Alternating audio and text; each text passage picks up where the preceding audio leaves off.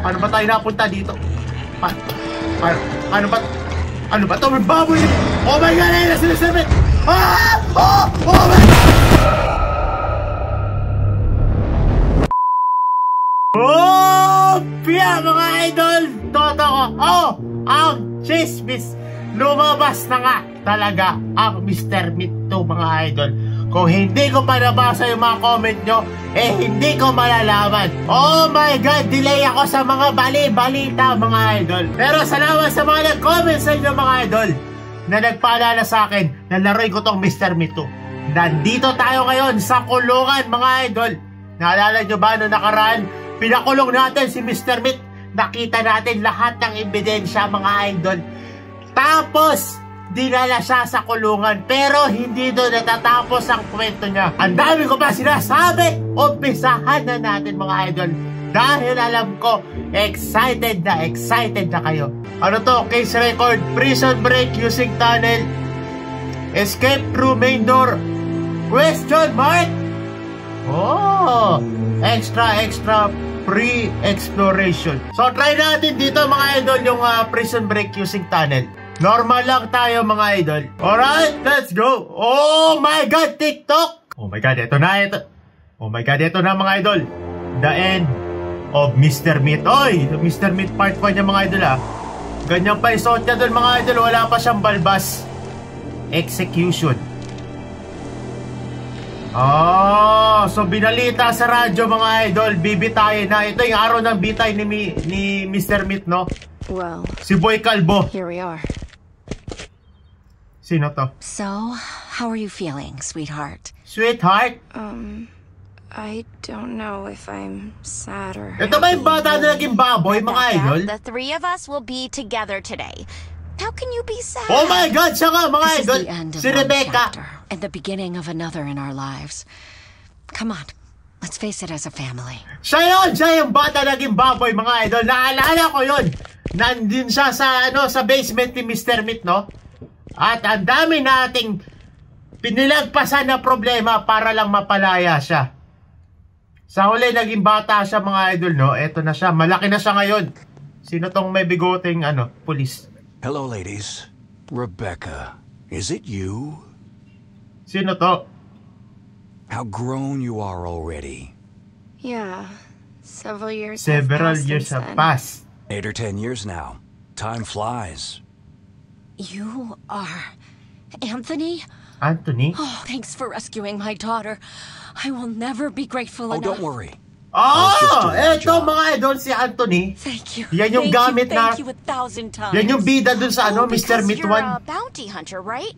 Uh, who is that girl you tried to rescue? Uh, Amelia. Amelia. right? Tell me. Tell me about what happened to her. She was. Grab your Bloody Mary. Sino to? One, two, and three. Bakit robot yung kamay niya? Good afternoon, everyone. Oh, good afternoon, Susan. Susan? Dr. White, you are, uh. very. Oh, si Dr. White mga idol. Have you noticed my new bow tie? Yan yung ano, yan yung gumawa ng gamot para si Rebecca maging bata ulit.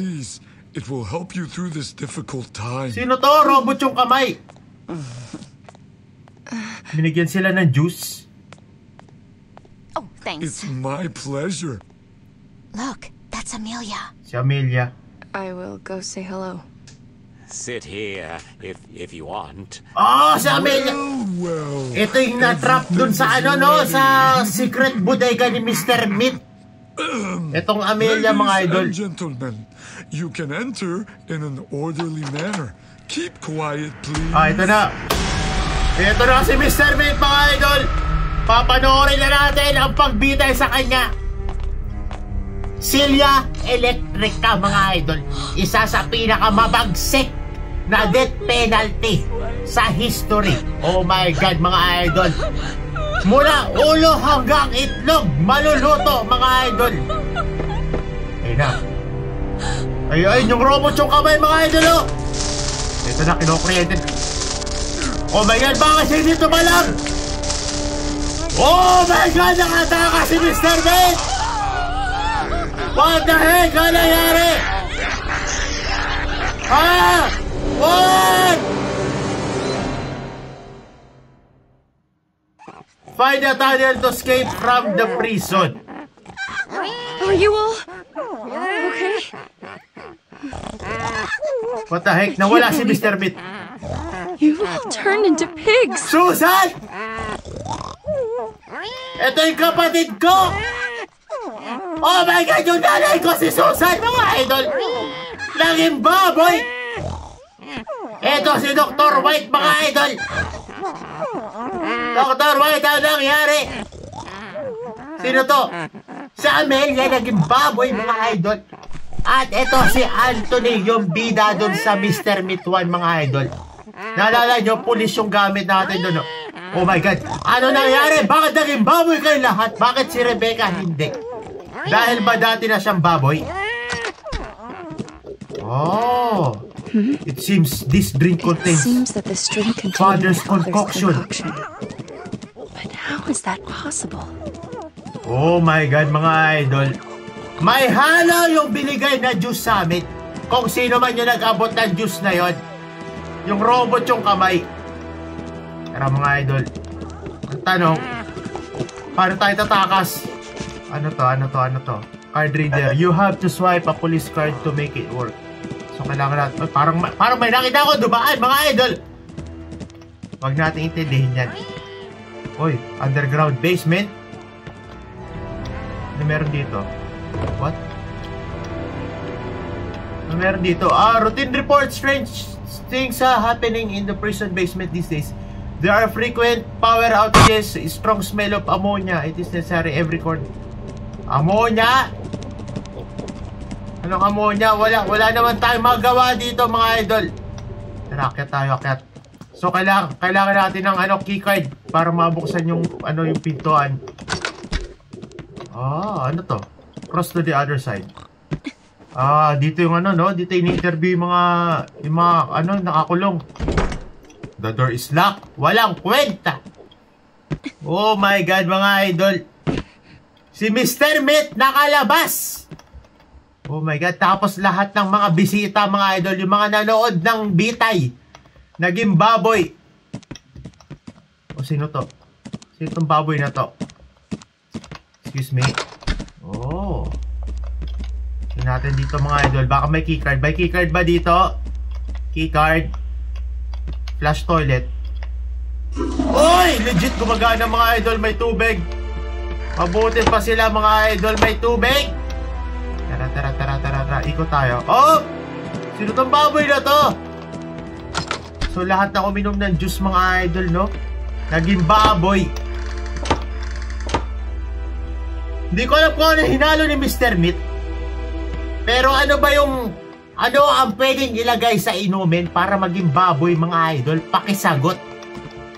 Ato, locker room, sarado, office, sarado, warden. Hindi natin mabuksan mga idol. Bakit pa tayo? Hanapin natin, nasan yung keycard? Elevator, di gumagana. Hoy, ano yun?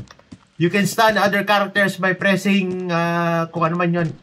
I-stun daw. Okay, okay. Lapitan natin siya. Oh. Oh my God! Bakit ka umilag? Puritin natin. Puri... Ah! Umilag, anak ng kamote. Eto na! Guard ID. Ah, yun siya mga idol, oh, Dave. Bloody Mary, uminom din siya mga idol, oh. Oh my God, mga idol. So, sa la- lahat pala nakainom, naging baboy. Ako lang hindi. Ano to? Prisoner Grounded of the Week. Whiteboard. Ah, Kensu. Lagay natin pangalan natin mga idol. Oh my God!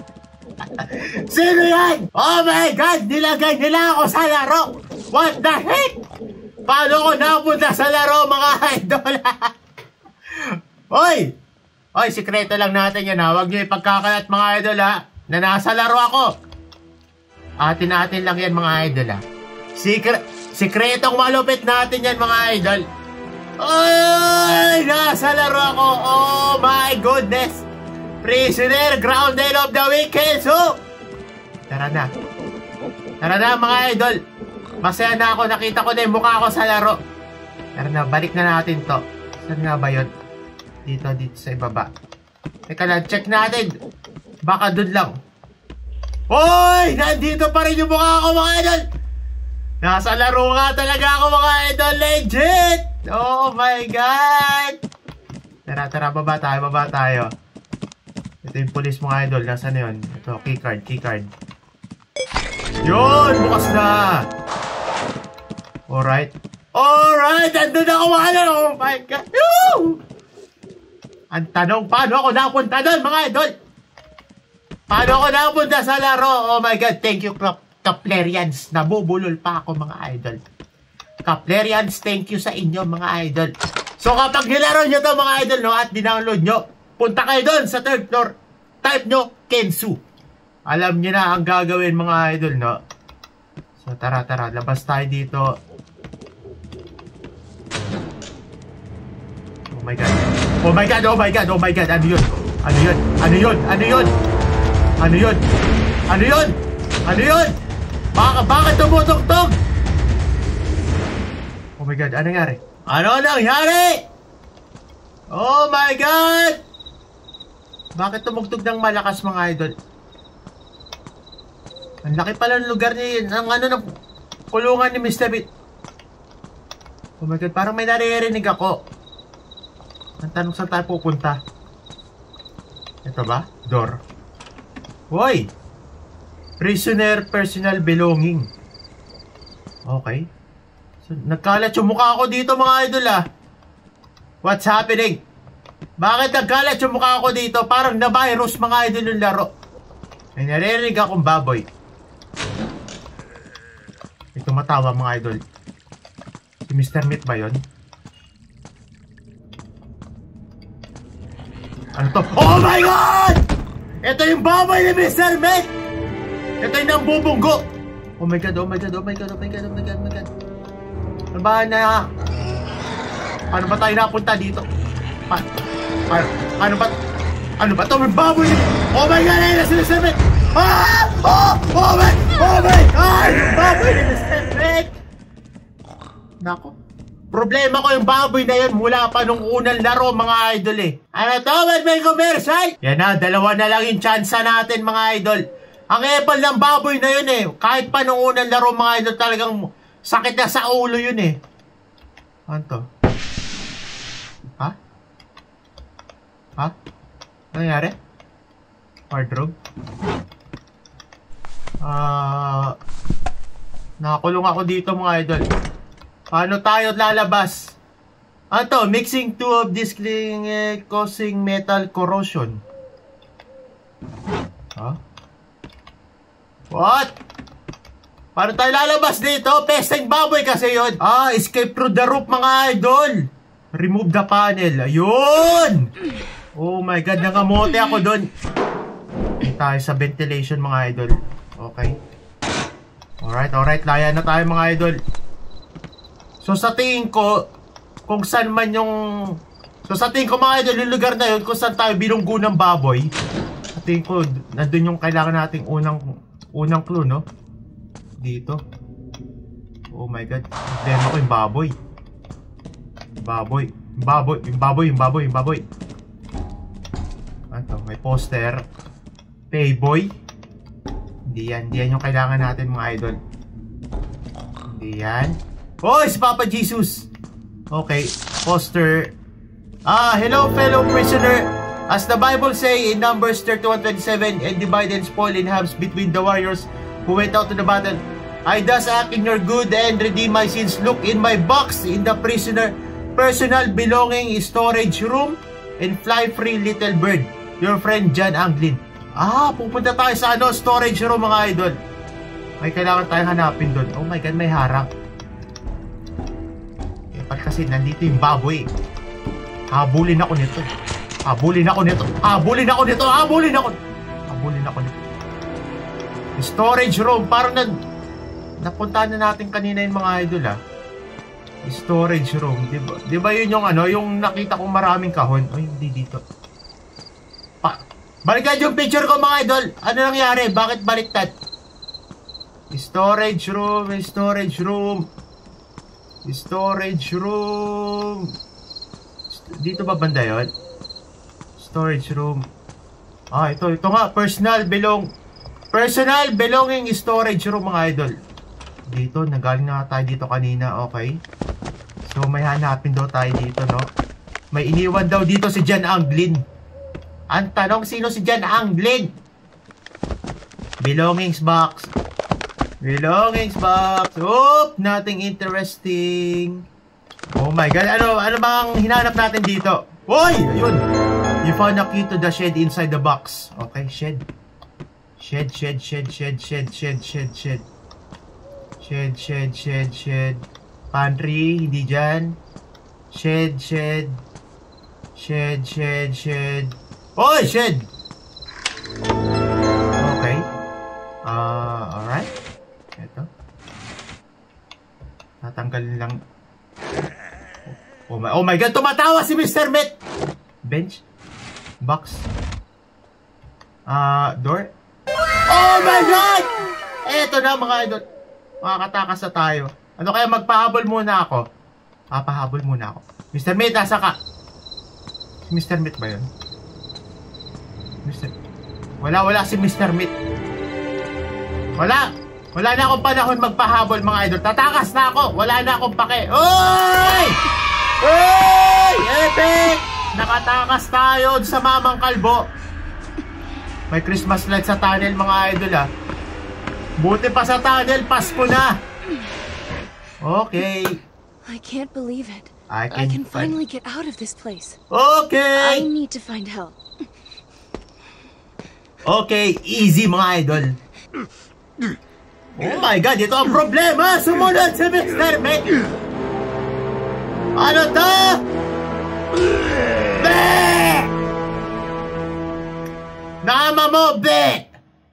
Escape completed. You have escaped but Mr. Meat is still controlling the prison. Oh my god. Kumbaga hindi siya good ending mga idol. Ang pangit. Ayoko nito. Ayoko nito. Main menu. So marami palang ending to no. Parang Mr. Meat 1 mga idol. So mga idol. Nakatakas tayo sa prison. Pero ang problema naiwan natin lahat ng mga kaibigan natin, no? At naiwan natin sila bilang baboy, mga idol. At sinundan tayo ni Mr. Beat. So, hindi magandang ending, mga idol. Pero, kung gusto mo makita yung susunod na ending, mga idol. Sa tingin ko yung susunod na ending, mas okay kaysa sa ending na to, mga idol. Kung gusto mong makita yun, mga idol, comment down below, no? At lalaroin ulit natin to mga idol. At papakawalan natin yung mga kaibigan natin naging baboy. Hindi ako papayag mga idol na si Mr. Meat. Pagala-gala pa rin. So mga idol, comment down below kung gusto mo ng part 2. At syempre kung nagustuhan ang video, pakipindot yung like button, no? Kita-kits tayo sa next video. Ako nga pala si Kensu. Bye-bye! Let's go. Bright lights, yeah, long fights, uh-huh. That's nothing compared to the training in my life. I wake up every day ready to get to that moment. Cause soon as I step in that ring, guaranteed I'ma own it. Brother, I tell you I'm on it. Back you up in that corner. I don't float like a butterfly, but I sting like a